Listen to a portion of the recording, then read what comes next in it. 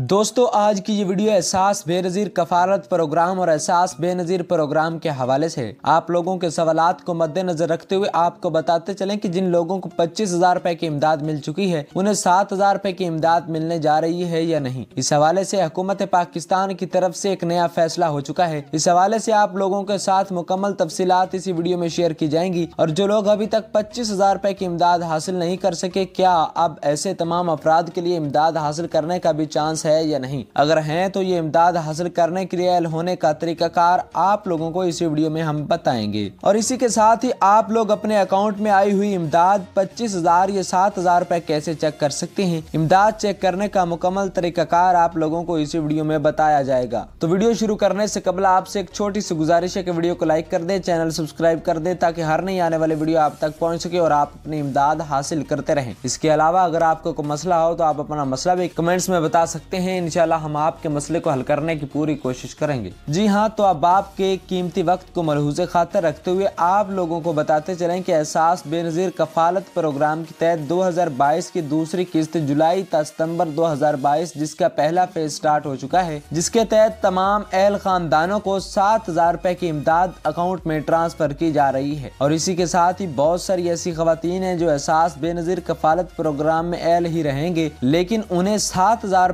की इमदाद ट्रांसफ़र नहीं की जाएगी, जो कि मैं आप लोगों को पहले भी बता चुका हूँ कि ऐसे तमाम अफराद जिन्होंने यकम जुलाई के बाद चौदह हज़ार रूपए की इमदाद या सात हज़ार रूपए की इमदाद हासिल कर ली है, अब उन्हें सात हज़ार रूपए की इमदाद ट्रांसफ़र नहीं की जाएगी। तो इसी के साथ ही हुकूमत पाकिस्तान की तरफ़ से एक नया नोटिफिकेशन आया है की जिन लोगों ने पच्चीस हज़ार रूपए की इमदाद हासिल कर ली है, अब उन लोगों को भी सात हज़ार रूपए की इमदाद नहीं दी जाएगी। अब आपको बताते चले की जो लोग ये पूछ रहे थे की जिन्हें पच्चीस हज़ार रूपए की इमदाद मिल चुकी है, अब उन्हें सात हज़ार रूपए की इमदाद भी मिलेगी या नहीं? आपको मुकम्मल तौर पर अहम अपडेट से आगाह करते चलें कि 2022 की कफालत प्रोग्राम की दूसरी किस्त के दो फ़ेज़ बताए गए हैं, जिसमें पहले फ़ेज़ के तकरीबन सात हज़ार रूपए दिए जा रहे हैं और दूसरा फ़ेज़ भी बहुत जल्द शुरू होने वाला है। तो आपको बताते चले की जो लोग पच्चीस हज़ार हासिल कर चुके हैं, उन्हें पहले फ़ेज़ में सात हज़ार नहीं दिए जाएँगे, जबकि दूसरे फ़ेज़ के तहत उन्हें सात हज़ार की इमदाद बिल्कुल दी जाएगी। हुकूमत की तरफ़ से जारी किया गया नोटिफिकेशन आप लोग स्क्रीन पर देख सकते हैं। जी हाँ तो अब आपको बताते चलें कि ऐसे तमाम अफराद जो अभी तक पच्चीस हज़ार रूपए की इमदाद हासिल नहीं कर सके। हालाँकि वो लोग सलाह मुतासरीन